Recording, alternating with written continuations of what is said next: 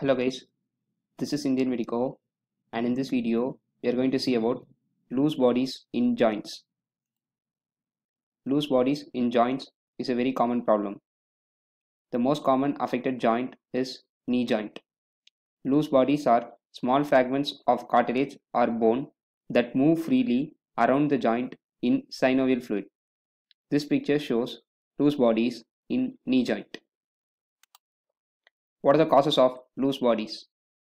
A fractured osteophyte in an osteoarthritic patient is the most common cause of loose body in knee joint.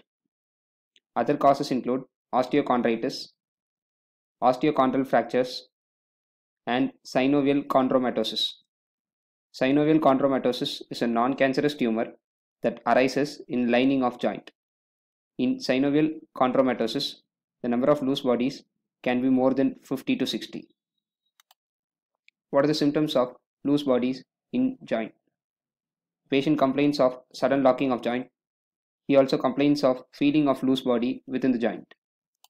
How do you diagnose a case of loose bodies in joint?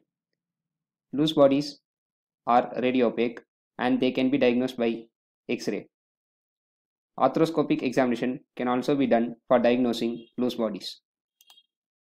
How do you treat a case of loose bodies in joint? Removal of loose body by either arthroscopic surgery or open surgery is the treatment of choice. If you have any suggestions, please let me know in the comment section. For more such videos, please check out my playlists. Thank you.